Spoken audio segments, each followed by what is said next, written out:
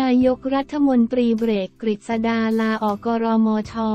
คลังยกหูกล่อมเองเจ้าตัวหัวเราะบอกขอคิดดูก่อนการเมืองวันที่ 8 พฤษภาคม 2567 16นาฬิกา2นาทีปิดนายกรัฐมนตรีเบรกกฤษดาลาออกกรมช คลังยกหูกล่อมเองเจ้าตัวหัวเราะบอกขอคิดดูก่อนเมื่อวันที่ 8 พฤษภาคม 2567 รายงานข่าวจากพักรวมไทยสร้างชาติ รอทสชเปิดเผยว่าวันนี้ วันที่ 8 พฤษภาคม นายกฤษดาจีนวิจารณะรัฐมนตรีช่วยว่าการกระทรวงคลังได้ยื่นหนังสือลาออกจากตำแหน่ง รัฐมนตรีช่วยว่าการกระทรวงคลังกับนายพิชัยชุนหวชิระ รองนายกรัฐมนตรีและรัฐมนตรีว่าการกระทรวงคลัง เป็นที่เรียบร้อยแล้ว ด้านนายอัครเดชวงพิทักษ์โรธโฆษกพักรวมไทยสร้างชาติให้สัมภาษณ์ถึงกระแสข่าวนายกฤษดา ลาออกจากรัฐมนตรีช่วยว่าการกระทรวงคลังว่าทางพักยังไม่ได้ทราบถึงเรื่องดังกล่าว และไม่ได้มีการยืนยันอย่างเป็นทางการอะไร ดังนั้นจึงยังถือว่าเป็นข่าวลือ นายอัครเดชกล่าวต่อว่า แต่ที่ชัดเจนและเป็นทางการคือวันนี้ วันที่ 8 พฤษภาคม นายสุพัฒนพงษ์พันมีชาวได้ลาออกจากการเป็นสมาชิกพักและประธานยุทธศาสตร์พักรวมไทยสร้างชาติแล้ว โดยต้องการเปิดทางให้บุคลากรท่านอื่นเข้ามาทำหน้าที่แทน เนื่องจากท่านจะไปประกอบธุรกิจเมื่อเวลา 15นาฬิกา55 นาที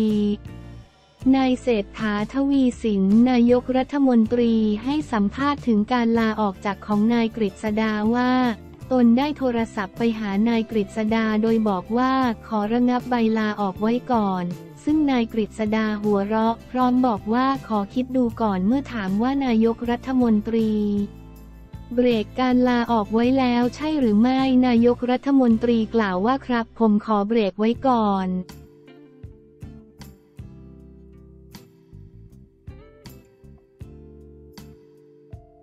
น้องมะลิสวยสะกดจิตยิ่งโตยิ่งฉายแววอนาคตไอดอลนางเอกบันเทิงวันที่ 8 พฤษภาคม 2567 17นาฬิกา4นาที เปิดภาพน้องมะลิวัยสิบขวบ ลูกสาวของพ่อปอแม่โบ สวยสะกดจิตยิ่งโตยิ่งฉายแววอนาคตไอดอลนางเอกไม่ไกลกืนเอื้อมศาสตร์ออร่าเครื่องหน้าความสวยมาเต็มสำหรับน้องมะลิพาขวัญสหวงศ์ลูกสาวสุดที่รักของพระเอกผู้ล่วงลับปอทฤษฎีกับภรรยาสาวโบแวนด้า ซึ่งหากใครที่ติดตามแม่โบน้องมะลิ จะทราบว่าน้องมะลิชื่นชอบการเต้น และมีพี่ลิซ่าเป็นไอดอลเรียนเต้นจริงจัง และมักจะมีคลิปโชว์สเต็ปแดนซ์ออกมาให้แฟนๆ ได้ติดตามตลอดรวมไปถึงน้องมะลิยังเข้าสู่วงการบันเทิงมีผลงานการแสดงตามรอยคุณพ่อแล้วอีกต่างหาก ล่าสุด วันที่ 7 พฤษภาคม 2567 แม่โบก็ออกมาเผยภาพน้องมะลิในวัยสิบขวบที่ขึ้นเวทีเป็นหนึ่งในทีมเต้นของสตูดิโอและโรงเรียนสอนเต้นชื่อดัง ซึ่งแน่นอนว่านอกจากจะสเต็ปแดนที่เป๊ะแล้ว ออร่าความสวยยังสาดแสงสุดๆ อนาคตไอดอลนางเอกไม่ไกลเกิน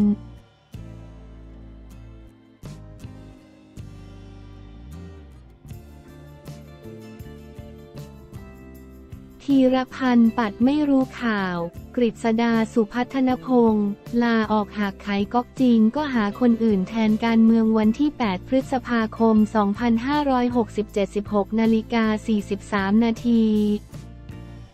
ธีรพันธ์ปัดไม่รู้ข่าว กฤษดาสุพัฒนพงศ์ลาออกเผยเป็นเรื่องปกติการเมืองหากขายก๊อกจริงก็หาคนอื่นแทนยันยังเป็นโคต้ารอทอสอชอย้ำในพักไร้ปัญหาเมื่อเวลา 15 นาฬิกา 20 นาทีวันที่ 8 พฤษภาคม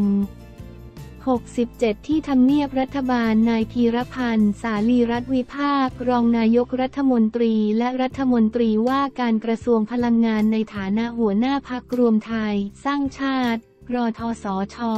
ให้สัมภาษณ์ถึงข่าวการลาออกจากตำแหน่ง รัฐมนตรีช่วยว่าการกระทรวงคลังของนายกฤษดาจีนวิจารณะ และการลาออกจากพักรวมไทยสร้างชาติของนายสุพัฒนพงศ์พันมีชาวว่าคงเป็นกระแสข่าวตนประชุมเสร็จเดี๋ยวนี้เองยังไม่ได้เห็นไม่มีการมาปรึกษาใด ๆ ถ้าหากลาออกจริงก็หาคนอื่นแทนแค่นั้น แต่ยังเป็นโควต้าของพักอยู่อ่านข่าว ด่วน กฤษดา ลาออกรัฐมนตรีช่วยว่าการกระทรวงคลังรอทอสอชอป่วนต่อ สุพัฒนพงศ์ไขก๊อกสมาชิกพักอ่านข่าว นายกรัฐมนตรีเบรกกฤษดาลาออกกรมช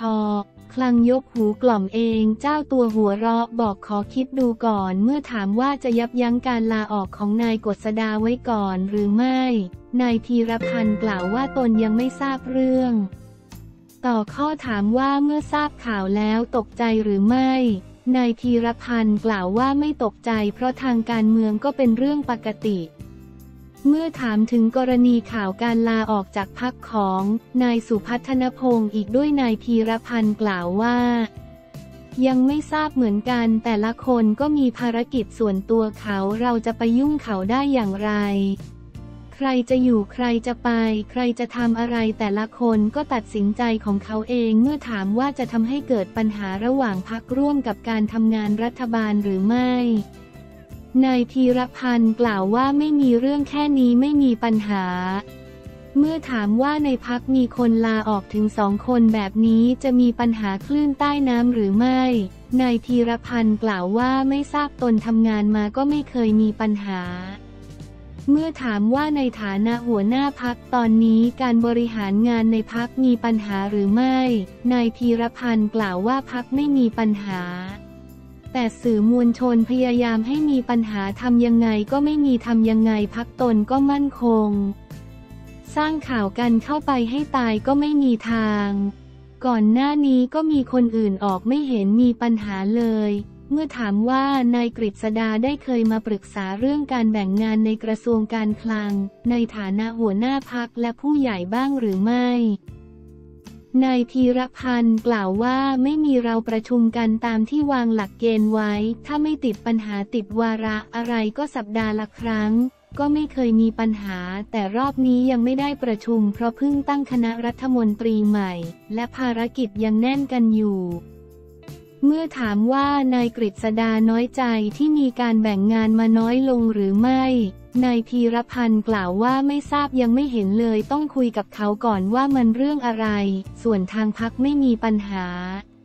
แต่ตนก็ไม่ทราบ เพราะนายพิชัยชุนหาวชิระ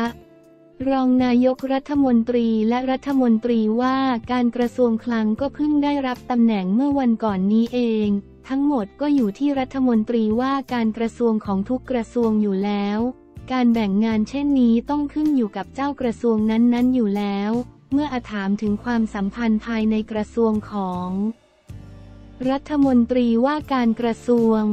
และรัฐมนตรีช่วยว่าการกระทรวงคลังนายพีรพันธ์กล่าวว่าตนไม่ทราบ เพราะว่าใครจะเป็นตำแหน่งอะไรก็ต้องทำงานร่วมกันให้ได้แค่นั้นเอง เมื่อถามว่า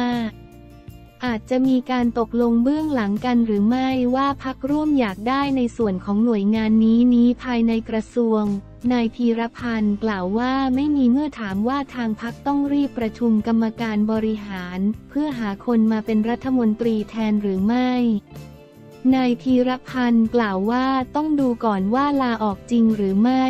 ตนเพิ่งออกจากห้องประชุมยังไม่รู้เลยมาถึงก็โดนสัมภาษณ์ยังไม่รู้เรื่องอะไรเลยจะต้องไปเช็คก่อน แต่ไม่ต้องประชุมพักแค่กรรมการบริหารก็ได้